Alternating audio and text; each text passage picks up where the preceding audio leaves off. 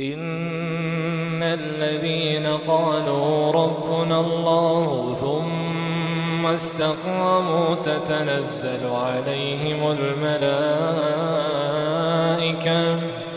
تتنزل عليهم الملائكة ألا تخافوا ولا تحزنوا وأبشروا بالجنة التي كنتم توعدون. نحن أولياؤكم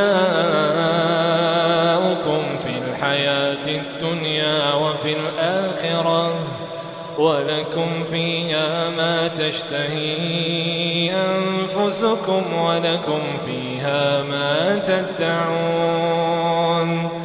نزلا من غفور رحيم. ومن أحسن قولا ممن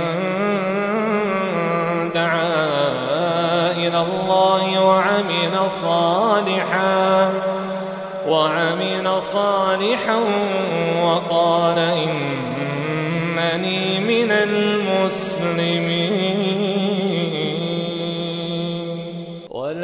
تستوي الحسنة ولا السيئة.